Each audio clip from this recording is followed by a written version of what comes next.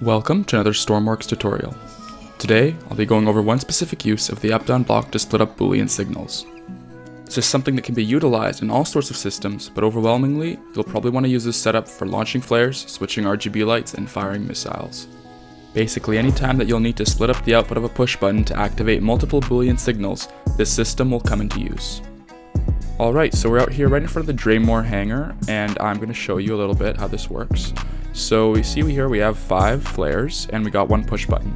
So if we push it once, one of them's to go, twice, second one, third, fourth, and fifth. All from the same push button.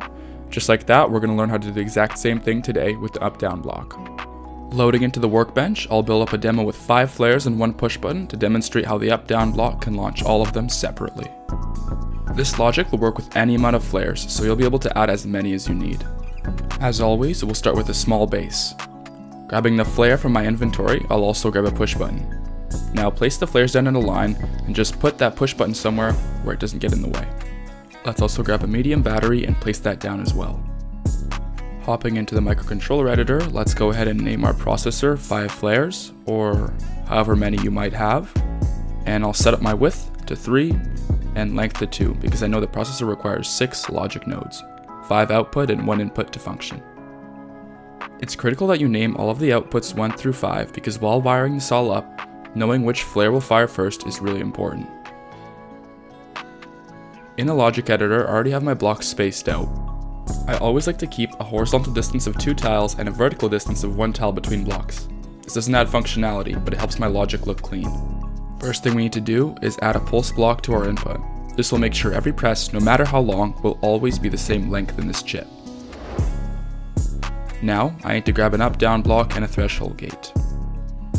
Place down the former right next to the boolean input and line up one threshold gate with every output. I strongly recommend having them in descending order,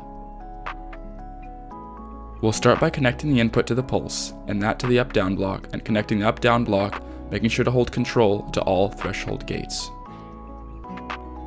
Finally, every threshold gate should also be connected to its corresponding output. For the up-down block, the settings should be an increment of 1, because we want the number to go up by 1 every time the button is pressed, and it will enable a clamp of a maximum 5 because after the fifth flare is launched, we want this value to stop increasing. Now for the threshold gates, you'll actually want to set the threshold around plus or minus 0.1 from your target. So if my target is 1, I'm going to set my minimum to 0.9 and maximum to 1.1. So just to account for the tiny bit of inaccuracy the up-down block will produce every time it increases. So, fill in each threshold starting from the first all the way down. And your last one should have a minimum and a maximum of 4.9 and 5.1 respectively. That's basically it. We're going to save our work and exit the editor. Now we can search for and place down our microprocessor on our base and start hooking up the logic. Firstly, let's go ahead and connect up all the electricity from the battery, then connect your push button into the input, and finally, output 1 to flare 1, output 2 to flare 2, and so on. Alright, so we've got our little creation loaded up here, and let's go ahead and test this.